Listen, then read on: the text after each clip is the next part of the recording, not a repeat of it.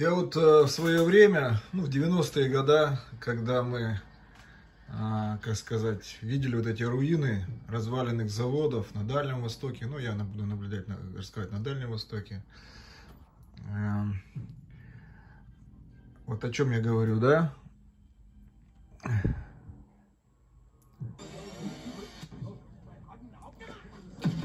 Вот примерно вот такая картина была мы приходили, там, банкротившиеся предприятия, их резали на металл, разбирали.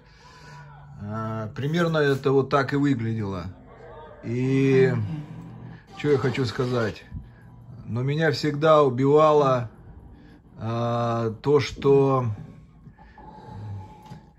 вот э, это был, эм, ну так сказать, э, труд людей до этого, какие-то соцсоревнования они участвовали каких-то, каждый шовчик, вот каждый шовчик здесь, это сварен человеком. Он, э, ему ставили норму, он там обедал, а в день он там что-то сколько-то варил. И, ладно бы это варили автоматы, и, и как бы было не жалко. Потом это все в таком состоянии. И может человек этот уже мертв, может быть, и, и, а может быть и нет. Зачем это вот все было сделано? Нафига это все было? А, я знаю, что ему не платили нормально, я знаю, что он а, каким-то образом, ну, был ущемлен, его там... Вот он ходил каждый день на работу, да, вот как вот эти вот, а, и делал какую-то бессмысленную херню, блин. Не знаю.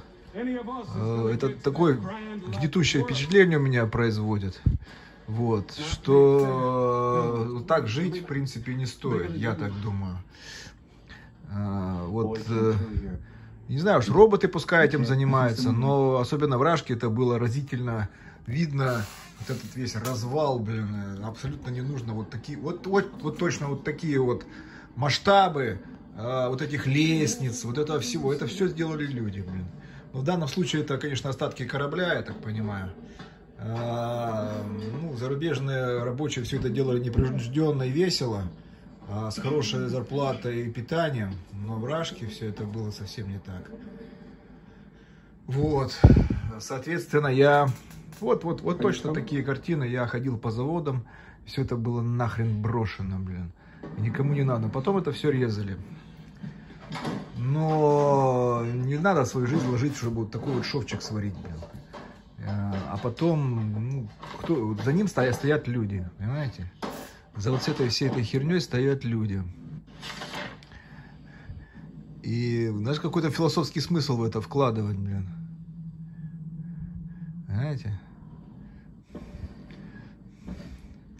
А вот это почему-то сцена, да, она впечатляет. Вот эти все руины, там потом устраивали а, какие-то учения МЧС. Вот точно я по таким же ходил. А, все это свисает, людей нет этот фильм «Катастрофа». А так все это напоминает. Вообще ужас какой-то. Когда темные сцены, надо свет выключать. Вот. Все это ржавое. И думаешь, зачем это эти люди стоили? И вот так стоит постоять, подумать. Вот такие же емкости стояли там, допустим, был или цемент, или песок, смешивалось, это кирпичи делать. Что только, блядь, не делали но все оказалось ненужным и брошенным. И оно действительно было не нужно. Нахрена это все было нужно? Потому что это все было по плану, по приказу построено. Людям оно нахрен было не нужно. А вот эта коммунистическая партия приказывала вот, вот такие конструкции постоянно. Блин. А, где там трубопроводы лежат, еще что-то. Э, приказывала все это делать. Естественно, все это было не э, запланировано. Запланированная разруха, так и называемая. Так похоже это вот на Мариуполь, Азовсталь. А, вот куда пришел этот, он, где был русский мир, куда пришел русский мир, все в таком разрушенном состоянии, бомбардировки, нормальное предприятие по выпуску металла, они просто уничтожили, там сидели в катакомбах, вы знаете, как это называется, гражданское население скрывалось от их мародерств на третьем-четвертом этаже, они все пытались э, и достать их вот этими авиабомбами трехтонными 122. Вот, хоть предприятие спасло людей, туда они стекались, бомбоубежища. Ну вот это русский мир. Вот он э, где был или куда приходит, везде вот, вот такое состояние. Ничего с этим, видимо, не сделать. Ну, с ними-то можно что-то сделать. Я не говорю, поведение их поменять невозможно.